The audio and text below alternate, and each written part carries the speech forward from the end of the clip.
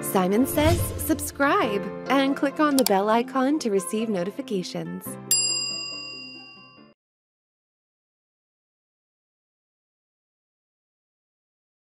Indenting paragraphs can be a really helpful way of adding structure to your document.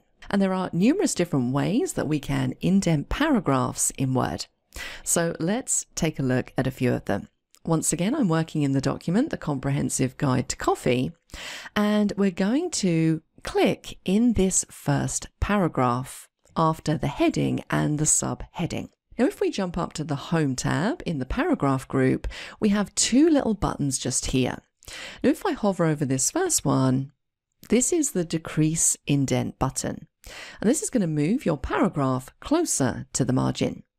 Now, currently in this document, all of my paragraphs are as close to the left-hand margin as they can go. But what about this other button?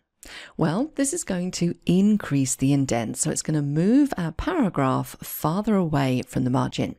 So let's click this one and see what happens. Well, as you can imagine, it's just going to indent that paragraph to the default first indent. And you can see by looking at the ruler that is just over one centimetre. If I want to remove this, I could then decrease the indent and it's going to take it back to the left margin. And I could click the increase indent button again. If I click it again, it's going to move further and carry on going. So I can really adjust these as I wish. Now notice that these changes are really just being applied to the paragraph that I'm clicked in. And if we turn on our show hide markers, we can see exactly where the end of that paragraph is. Now, if I want to apply indentation to numerous different paragraphs, I would need to make sure that I select all of the paragraphs that I want to indent.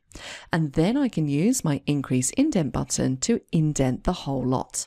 Now, as we've just seen, when we increase the indent, it increases it to the default measurement. But what if we want to use our own measurements? Or maybe we want a different style of indent. Maybe we want to indent the first line, but not the rest of the paragraph. And that is a technique you often see in novels, in books.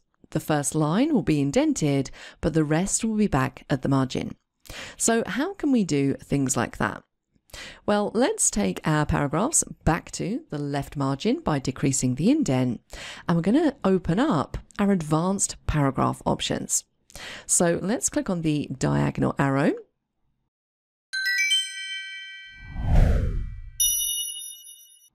And you can see automatically it's taken us across to the indents and spacing page. And the second section here is all related to indentation. So let's move this over here so we can see the text underneath. So this is where I can get very granular about the amount of indentation I want to apply. So if I want to put this up, I can click the up arrow, and if you notice in the preview window, it's just showing me where that's going to indent to. So this gives me a little bit more control when it comes to how far away from that left margin my paragraph is. I could even indent from the right margin. So if I put this up, notice it's going from the other side. And if I want to manually change this, I can simply click in the box, type in the exact indentation level I want, and press enter. So really nice and straightforward. Now I'm going to click in this first paragraph one more time and reopen up our advanced paragraph editing because we do have some other options here underneath this special drop down. So this is where I can choose if I want a first line indent or a hanging indent. So if I say first line indent, take a look in the preview. This is what you see in novels. If I click on OK, it's going to indent just the first line of the paragraph and leave everything else at that left margin. And I can even customize exactly how far across I want that indent to be. So if I need it to be a little bit further along, I can adjust this, click on OK, and I get a completely different effect. Now I'm going to Control Z just to undo this and take it back to how it was. Let's open up our options again and take a look at the other thing that we have underneath this special drop down, and that is a hanging indent, which is kind of the opposite of the first line indent. This time it's going to leave the first line of the paragraph at the margin, but it's going to indent everything else. And once again, we can adjust exactly by how far we want to indent.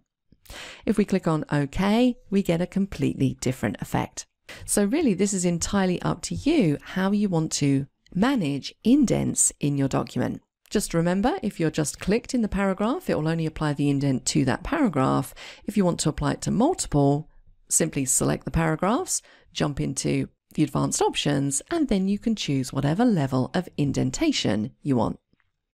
If you're not a subscriber, click down below to subscribe so you get notified about similar videos we upload. To see the full course that this video came from, click over there. And click over there to see more videos from Simon Sez IT.